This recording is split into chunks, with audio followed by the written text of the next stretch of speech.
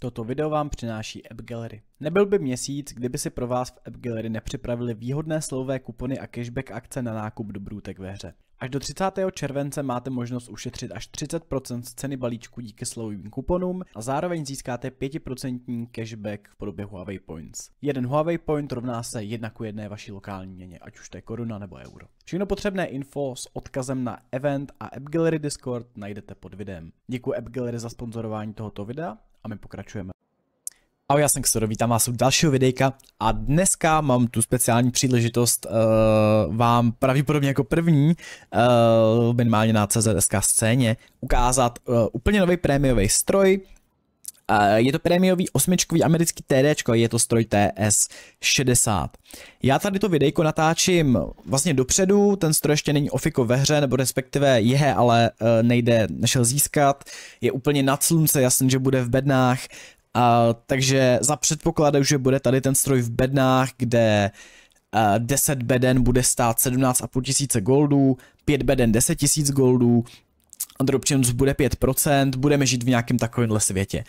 V nějakém takovémhle světě by ten stroj byl worth, kdyby vám padl třeba za těch 10 tisíc goldů, rozhodně ne za full price, každopádně jestli vám padne do nějakého třeba rozumného množství, a nebo nemáte hluboko do kapsy a můžete si prostě dovolit tam poslat uh, osmičku za 50 tisíc goldů, jako já třeba uh, to AMX Alt Proto, že jo, minulý měsíc, který prostě jsem hrozně chtěl, protože to je dobrý stroj, vyšel na 52 500 goldu, nebo něco takového. Uh, tak dostanete velice zajímavý stroj, je to velice zajímavý TDčko, je to unikátní tank, který ve hře ještě nemáme. A měl bych začít tím, že to je, uh, že, že máte stroj věž. Ta věž je otočná hodně. Uh, není plně otočná, na to pozor, není plně otočná, ale někde tady najdem určitě úhel a je to 135 stupňů. Uh, já tady pravděpodobně použiju všemohoucí malování a uh, pokusím se to nějakým způsobem znázornit. Um, za předpokladu, že máme takhle tank, takhle máme tank a uh, takhle máme tu věž a dělo. A 90 stupňů je samozřejmě pravý úhel. Uh, takže takhle. A 135 stupňů, 35 je necelá polovina, takže třeba takhle. Zhruba, zhruba nějak takhle máte výseč. Což je hodně fajn, a uh, je třeba ale myslet na to, že ta věž není plně otočná. Tady se vám to dělo prostě zarazí a tímhle tím směrem už nepůjde. Snad malování pomohlo, malování pomůže vždycky. Takže ta věž je skoro plně otočná což strašně zpříjemňuje hraní s tím strojem. Dále ten stroj disponuje velice zajímavým dělem. To dělo má skoro 3000 dpm, máte 380 alfu, což jsou opravdu hodně vysoké hodnoty. 7 stupňů deprese, eh, což taky vůbec není špatný číslo. Celkem teda nic moc aim time a celkový gun handling přesnost taky není úplně nejlepší a to dělo bude rozhodně nejlepší, nejefektivnější na kratší střední vzdálenosti. Uh, rozhodně nejste sniper a to si ještě potom ukážeme a potvrdíme armorem, že nejste sniper. Uh, na této turretě zepředu na věži 170 mm, na podvozku 110. Uh, vana je velká a slabá, ale ten vrchní plát je pod nesmyslným úhlem, takže to je v podstatě autobounce. Uh, a ta věž má taky velice slušný pancíř. Uh, jdete probít uh, do kopulky a jdete probít vlastně, jak máte spodek věže, tak do toho turret ringu. A podobně jako u VK káčka, u desítkového VK káčka, tak při sidescrapu, při sidescrapu vlastně uh, negujete uh, úhel toho turret ringu. Uh, ten stroj je vz, i vzhledově trošku podobný VKKčku. Takže pozor na sidescrapování, ten sidescraping vás může potopit právě já to nemám jak ukázat, já bych potřeboval Apple Pencil, který tady asi bohužel nemám po ruce, ale uh, já přemýšlím, jak to nějakým způsobem hm, vymyslet. Asi to nějak nevymyslím, doufám, že, doufám, že mě chápete. Takže to by byl pancíř, to by bylo dělo. Pohyblivost, eh, ten stroj Plečkins, máte maximálku 29 a couváte 12, 13 koní na tunu, eh, ani odpory terénu nejsou vůbec dobrý. Tenhle ten stroj rozhodně není nějaký rychlik, a právě proto má třeba tak dobrý bojový vlastnosti, protože ty ostatní vlastnosti uh, zas tak uh, dobrý nejsou, co se týče třeba pohyblivosti. Myslím si, že view range taky není vůbec nějak dobrý, 271 view range rozhodně není hodně, uh, takže budete mít problém v late gameu proti lightům nebo čemukoliv, co má prostě dobrý dohled. Devítkový metka. Devítkový metka jsou celkem váš nepřítel. Hodně, hodně. Uh, devítkový heaveny můžou, ale nemusí, protože vy díky tomu DPM jste hodně devítkových heaven schopný uh, out DPM knout, prostě máte větší DPM, máte větší damage output, uh, plus máte 290, 290 hity. 290 hity jsou velice příjemný.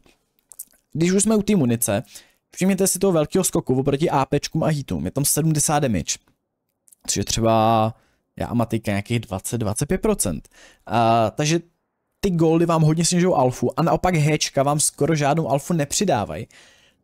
A já vůbec nevím, proč to tak je, jestli to je balance faktor, každopádně ten stroj má jenom o 30 větší alfu na hečku než na APčku, to znamená vykřičník uh, je 513, což je o uh, nějakých 38 jenom víc než právě na APčku, takže ty Hčka se tam za stolik nevyplatí vozit a mm, rozhodně já bych i řekl, že se ty héčka za tolik nevyplatí střílet, protože pokud dáte fail héčko, tak už nikdy nedoženete tu ztrátu, co vám dá to fail héčko. U některých héček, třeba u britských héček, vy když dáte fail héčko a pak další dvě probijete, tak furt vám to uh, může dát víc, než kdybyste stříleli jenom ty APčka, uh, ale tady jsou ty héčka takový fishy.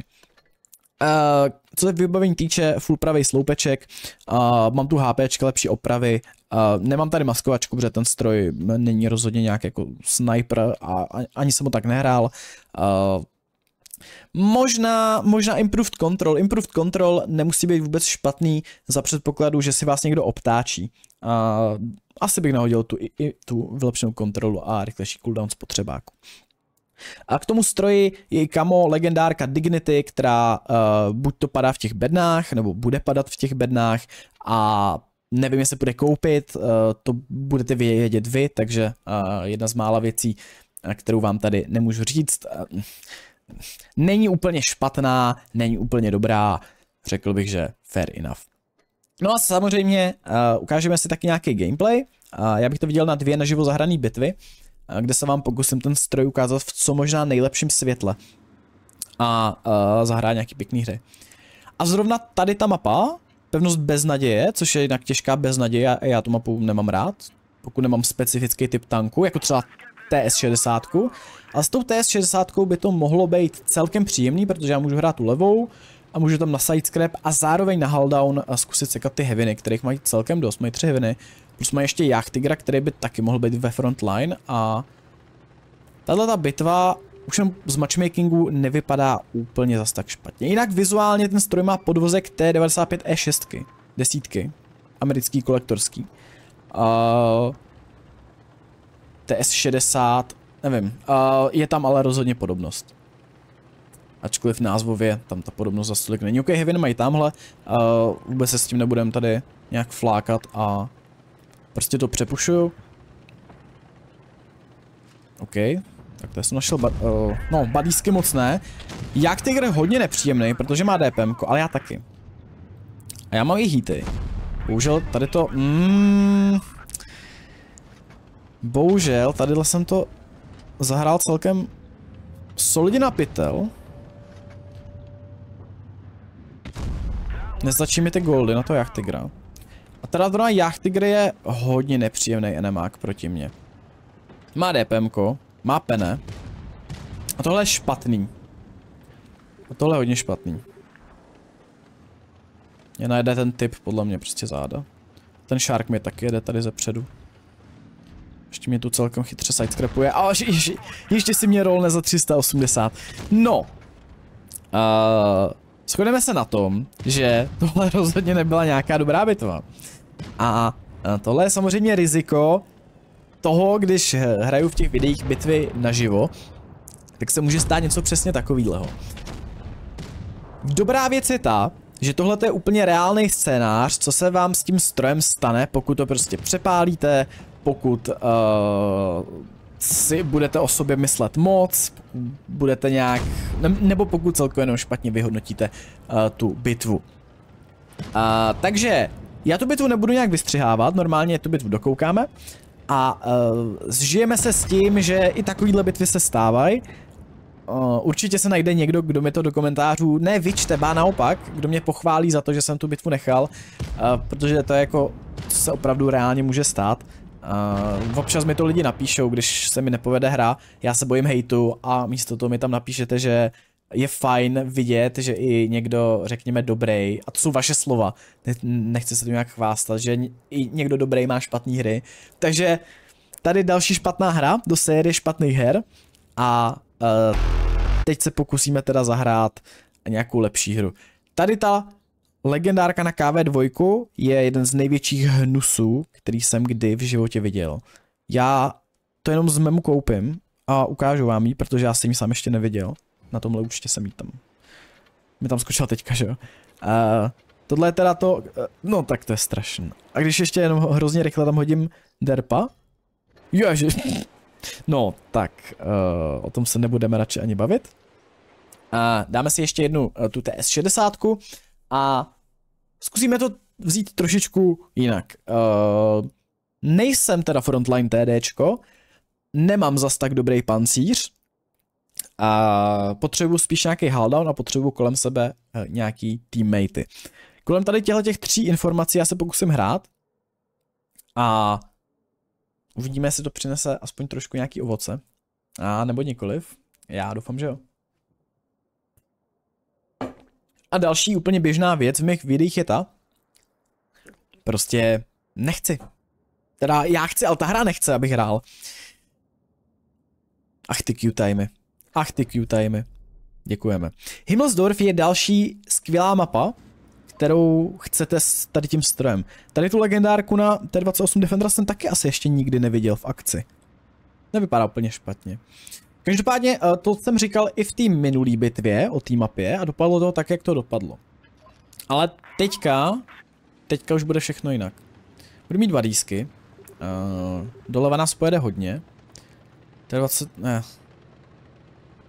tak on má, on má Gunra, on tam uhraje celý tým. Proč prostě nejde s náma? Zrovna s tou 28 by kraloval tady vlevo, já nevím, co tam chce vymýšlet. Tak, Joch, hodně agro. Já na ně taky budu hrát ale agro. Já mám DPM a on v momentě, kdy vystřílí zásobník, tak...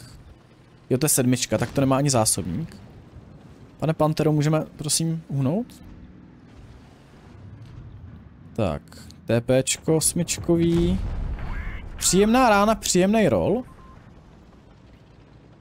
A tady je právě, právě super, že máte tu věž a vy v podstatě můžete hrát roli Heaviny s tím, že ale nemáte HPčka Heaviny, máte jenom v úzovkách jenom necelých 14 HPček, což není vůbec nějak jako strašně hodně.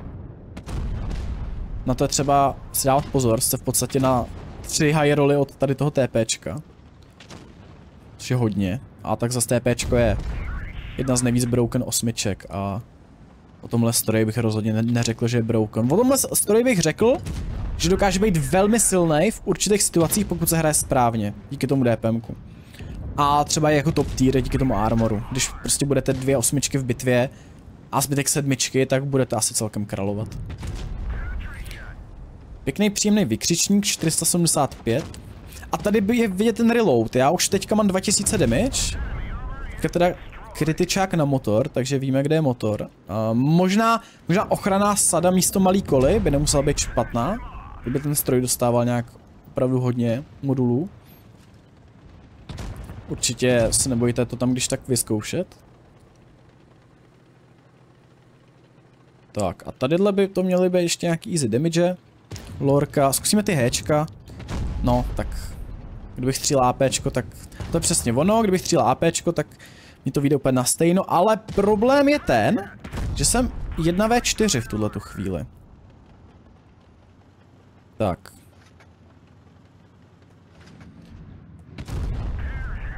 SMVčka já se bojím moc.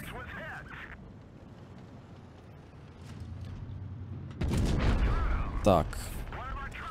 Mě prostě rolne ta 44. A hrozně se mi rozpadl tým, mám 3600 damage, což není rozhodně na osmičku něco úplně špatného.